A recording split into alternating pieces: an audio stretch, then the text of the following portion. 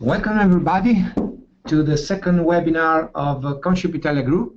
My name is Daniele Testi, Head of Marketing and Corporate Communication. Um, together with me today, uh, Peter Robino from Commercial Department of Contship Italia. Hello to everyone, good morning. Um, as you know, uh, for the one that already attended to the first webinar, today we would like to talk about uh, fast corridors. is one of the main topics which uh, we consider relevant for the global supply chain, especially for all the one involved in import activity in Italy. Uh, today we will try to explain uh, uh, better what is a, fast corridor, which are the main goals and benefits that customers can achieve through fast corridors, and obviously trying to describe as, as much as easy as possible what is the logistic process of a fast corridor. And obviously, we will talk about uh, the clients that can uh, today access to the fast corridor procedure. But uh, before we start with the webinar together with Peter, uh, we are organizing a very short polls, uh, four questions, and uh, we will leave you uh, approximately 20 seconds to answer. This will help us uh, to better design the new um, webinar in the future. Thank you.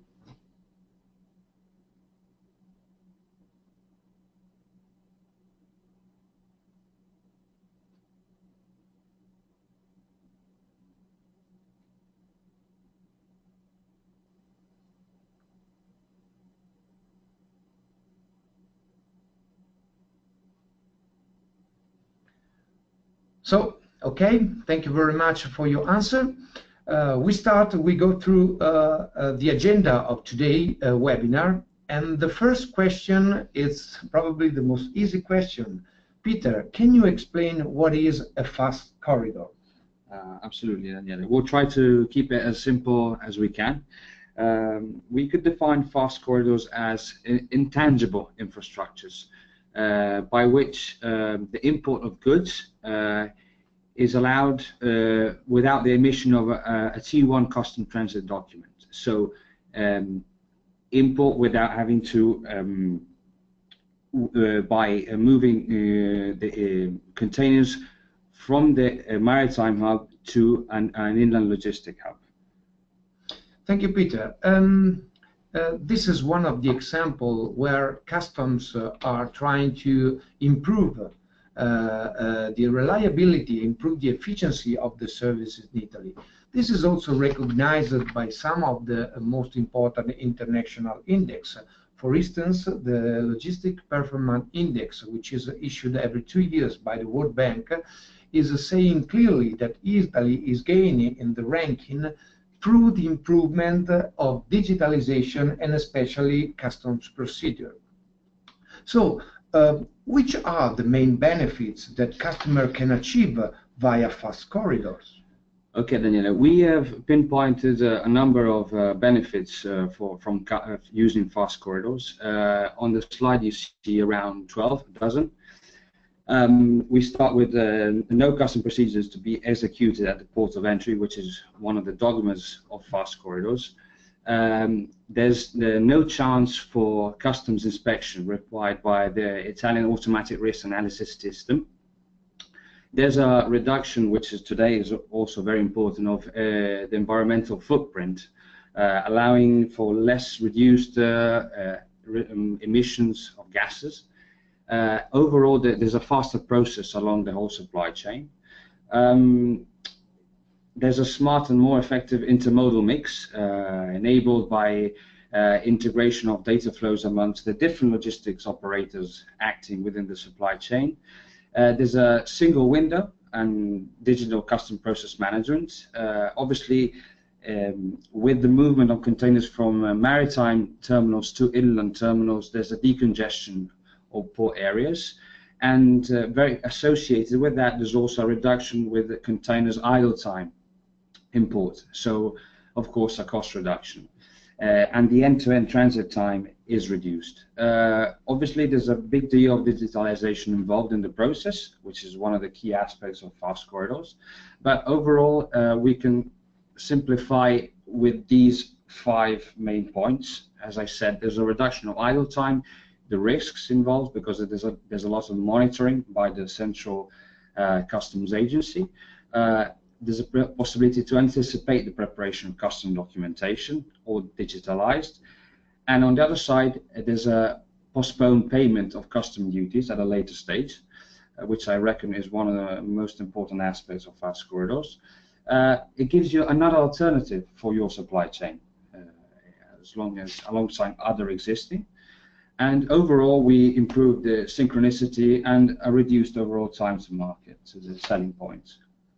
Thank you very much, Peter. Uh, this is in tune uh, with uh, one of the main aspects that, which is uh, today involving uh, um, uh, the development of import activities in Italy. And I'm talking especially about the, the Southern Gateway option. So the chance to use Italian ports to better serve Italian domestic market first, but also over the Alps markets. I'm referring especially Switzerland, south of Germany. This is also a consequence of two main infrastructure development. Uh, the, the new capacity in the Suez Channel, which has been improved and making uh, the Mediterranean more centric within the global supply chain trades, as well as uh, the involvement and the development of the Gotthard Tunnel, which will help and will support a more competitive rail service from Italy uh, through uh, Switzerland and, uh, um, and south of Germany. But if we go back to the import, the main import process, and if we look at Italy, as you can see from these slides, uh, the, the, the, major concentration of distribution center, or regional distribution center, are located in the north of Italy. This area represents approximately 45-50% of the total GDP. So uh, the question is, uh, where are today available the fast corridor, especially the intermodal fast corridor? Okay, Daniele. There are uh, today there are uh, seven uh, intermodal fast corridors. The first of which was uh, established uh, in uh, June 2015, and actually at Contship La Spezia Container Terminal, with a train between La Spezia and Melzo, where our inland rail hub is based. Um, it was fully managed and monitored in accordance with the new procedures, uh, as uh, it is for fast corridors. And uh, determined by the Italian Customs Agency in compliance with the AIDA system, which is the Central Customs Agency's IT system. Um, as you can see from the slide, um, they are both from Genoa and La Spezia. Uh, La Spezia to, as I said, to Melzo, the pioneer fast corridor in 2015.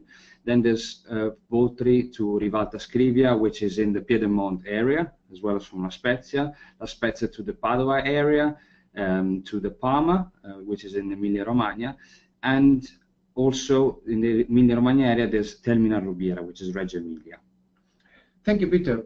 Uh, this is the second time we are talking about Fast Corridor. The first webinar was organized in Italian language, but then we received a lot of uh, questions, and uh, we decided also to organize this webinar in English, even if actually uh, the fast corridor are only related with import uh, of Italian flows uh, in the north of Italy, as you can see and as you described it um, today.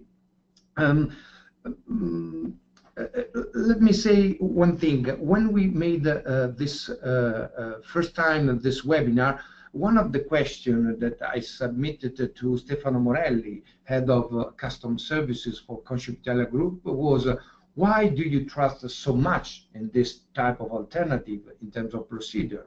So now I'm, I'm, I'm saying to you the same. Okay. Uh, why you, as a commercial manager, you trust in this type of development, and also which are today the customer, the type of customer can access the fast corridor procedure? Okay, Daniele. Uh, well, allow me to say, Contship believes uh, uh, in this uh, value-adding opportunity. It's an alternative to existing uh, products on the market. But um, there's two or three main aspects which I think are, are, are worth mentioning uh, about fast corridors. And first of all is the fact that effectively the payment is postponed. Custom duties are taken care of at a later stage. and this benefits the customers, whether these are shipping lines, freight forwarders, or uh, importers, cargo owners. Also, there's a link to the, this, this point is the fact that the time lapse between the payment of duties, therefore the later stage, and the end selling point is shortened. So there's less time between the payment of duties and when the goods are actually sold on the market, whether it's in a production cycle or a customer retail uh, product. And uh, of course, this is um, uh, specific, maybe more for cargo owners, the end-to-end -end transit times are reduced. So overall, as we said, uh, there's three type main categories of, of, customers we can think of: shipping lines, freight forwarders, and important importers. And for example, it's important for those already using the rail option or those customers who are willing to improve the efficiency of their logistics uh, processes and supply chains. Uh, those who are particularly sensitive to, as we said, eco-friendly aspects, uh, such as the reduction of the carbon imprint, uh, so there are different different uh, reasons why uh, this alternative is considered a value-adding opportunity. Clear. Thank you, Peter. We now move into the second part of this webinar, which uh, will try to be a little bit more technical. And we know that talking about customs sometimes could be difficult because there are technicalities involved, there are a specific procedure, but I'm sure that you will do your best to keep it easy as much as possible. Uh, the question is, uh, can you describe uh, which is the main process, logistic process, when a customer decides to import via a fast corridor? Okay, we try to um, streamline the whole process down to eight points, as you can see on your screen. Obviously, it all starts with the fact of listing the containers on the fast corridor and declaring them, uh, having them declared by the shipping agent. Then there's the famous manifesto, MMA, uh, which is prepared by the shipping line, uh, which identifies the, the fast corridors and their inland destination. And there's a third step where, where the train, there's a train planning um, process for fast corridors, can begin at the port rail terminal. The transport mission manager uh, gives notice uh, to the custom barrier crossing to the financial police at the port rail gates. Uh, the same transport mission manager gives then notice of the departure of the train. This is all in line with the, uh, the fact of monitoring the whole process, as we said at the beginning, for security reasons. Uh, the transport mission manager then conducts real-time monitoring and communicates uh, with this flow of information immediately any technical problem or delay should this occur. And then we get to the final stage of the process where the transport mission manager uh, gives notice to the train arrival at the logistics node uh, to the AIDA system. And finally, the mission manager provides confirmation of the introduction of the containers into temporary storage facility. Let me just um, dwell on the, explaining a little bit more what the transport mission manager is. And uh, usually, uh, the mission manager is um, the inland hub, which manages the whole process from the maritime terminal to the inland terminal. And in our case, specific in the Contship Group, we are well acquainted with this product through uh, RHM, which is our rail hub, Milano hub in, uh, in Lombardia. Thank you, Peter. And uh, what a customer has to do if we want to start tomorrow using a fast corridor for their import trade?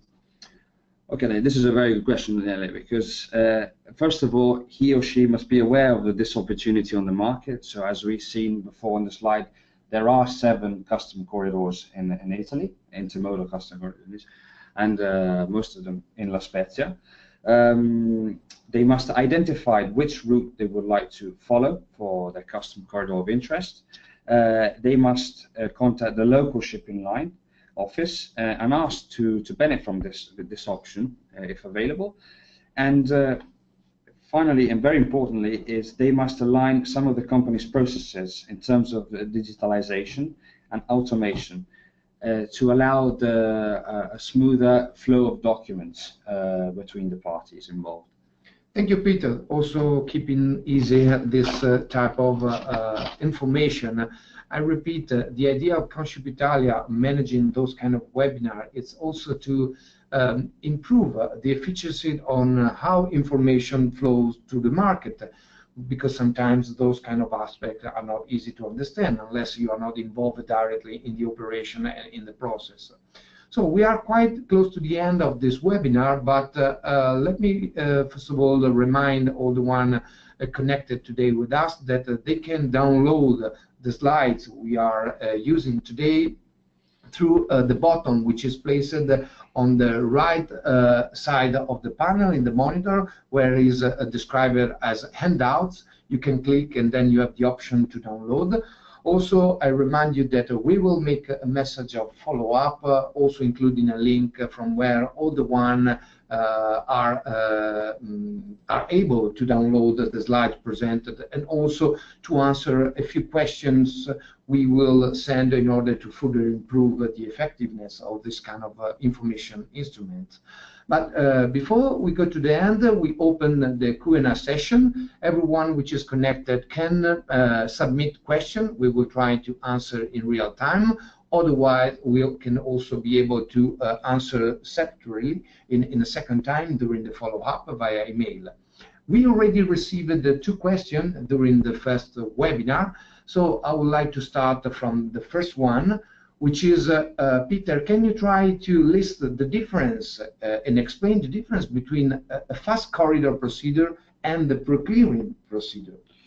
Yes. Um, basically, the difference is uh, one is basically the opposite of the other, whereas fast corridors, custom duties are paid at a later stage, as we said, um, whereas pre-clearing, the custom duties are taken care of while the, the ship is actually still at sea. So that means 24, 48 hours um, before discharge at the terminal. So basically, it's just a question of deciding which alternative is best for a customer supply chain. Yes, correct. Uh, and this explains why those kind of products are uh, alternatives. Absolutely. And uh, Contship Italia Group believes that the, the number of alternatives are, are, are available could benefit the global efficiency of the supply chain because there are different type of cargo, there are different type of requirements. The second questions we received is about the certification uh, AEO, uh, which is um, economic authorized operator. Does a customer need to be certified AEO to access a fast corridor?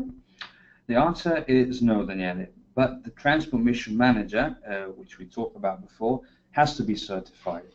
And uh, hence the opportunity provided by a group such as Contship, whereas all the Contship group entities from maritime terminals such as LSCT or the actual intermodal operator, Hannibal, and the inland hub RHM are all AEO certified and are actually long now long experienced with this value adding opportunity. So, so Thank you very much, Peter. Thank you for your time. You'll be really pleased to stay with you today, and thank you for your support. I hope that everyone enjoyed this uh, webinar. This is a series of webinars. It's our intention to propose new webinars, mostly one every month. Uh, I repeat, uh, to target which could be relevant topics for the global supply chain and where Contship can better inform the market. I uh, ask everyone to continue to follow uh, Contship Italia Group. As you can see on the monitor, you can send an email uh, directly to Peter Robino at contshipitalia.com for any type of question or more specific uh, requirements, or you can write to the general email address infocs at contshipitalia.com. Uh, I will um, hope that you will join this webinar and ask you to continue to follow uh, our uh, social media channel. And I really thank you for your time and I hope to see you soon at the webinar. Thank you, Peter. Uh, thank you. Thank you for listening.